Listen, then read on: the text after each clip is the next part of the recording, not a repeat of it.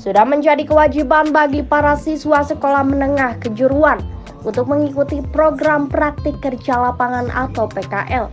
Namun dalam pelaksanaannya mereka harus menanggung segala potensi resiko yang ditimbulkan akibat kecelakaan kerja, mulai dari kecacatan fisik hingga kematian.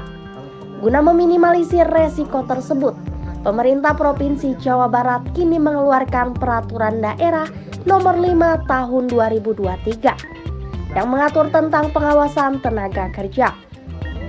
Termasuk di dalamnya perlindungan terhadap para siswa magang yang sedang mengikuti program praktik kerja lapangan atau PKL. Mengacu kepada perda tersebut, SMK Negeri 1 Ciamis kini menggandeng BPJS Ketenaga Kerjaan untuk memberikan perlindungan sosial kepada seluruh siswa didiknya yang akan mengikuti program praktik kerja lapangan dengan pesertaan selama enam bulan. Seperti disampaikan Kepala SMK Negeri 1 Ciamis, Nunung Erni Nuraini, menurutnya mulai tahun ini seluruh siswa magang akan mendapat jaminan kecelakaan kerja serta jaminan kematian berupa biaya perawatan, tunjangan serta santunan dengan nominal mencapai puluhan juta rupiah.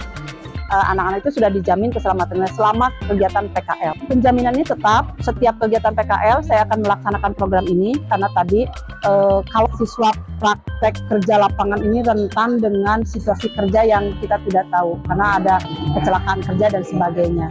Eh, kita tidak tahu ini tanggung jawab siapa awalnya apakah sekolah, orang tua, atau perusahaan.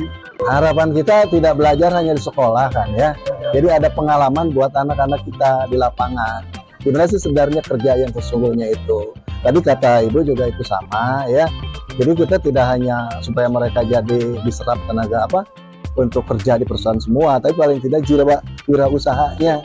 Jadi paling tidak dia bisa menciptakan Berkat inovasinya ini BPJS Ketenagakerjaan menobatkan SMK Negeri 1 Ciamis sebagai pelopor sekolah sadar jaminan sosial pertama di wilayah Priangan Timur.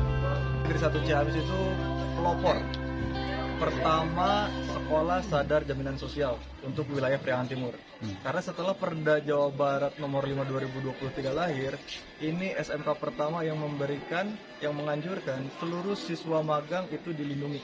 Lewat program praktik kerja lapangan ini, pihak sekolah tak sekedar mempersiapkan para lulusannya untuk diterima di dunia kerja, namun juga menumbuhkan jiwa entrepreneur sehingga mampu menciptakan lapangan pekerjaan sendiri. Dari Ciamis, Jawa Barat, tim liputan melaporkan.